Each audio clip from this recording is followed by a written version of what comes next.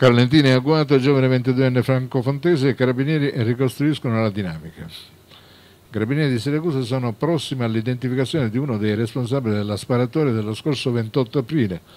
Quella domenica, al termine dell'incontro, un giovane 22enne Franco Fontese a bordo della sua autovettura è stato affiancato da un'altra auto dalla quale sono stati esplosi alcuni colpi d'arma da fuoco che lo hanno attinto al fianco. Il ragazzo ferito è stato trasportato al pronto soccorso dell'ospedale di Lentini dove i sanitari hanno constatato che non era in pericolo di vita. Le serrate indagini finalizzate non solo all'individuazione degli autori de del folle gesto ma anche alla ricostruzione della dinamica dei fatti sono state avviate nell'immediatezza e grazie ai tempestivi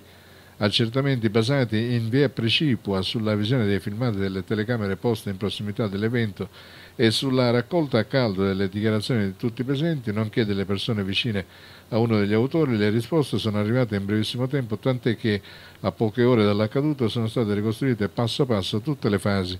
dell'evento criminoso. Nel dettaglio i militari sono riusciti a ricostruire la dinamica dei fatti, in particolare ad accertare che la vicenda ha tratto origine proprio al termine della partita per degli asti pregressi per futili motivi.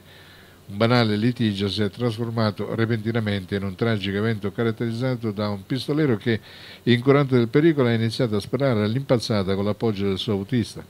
In un primo momento si pensava che l'episodio potesse essere collegato alla partita di calcio, ma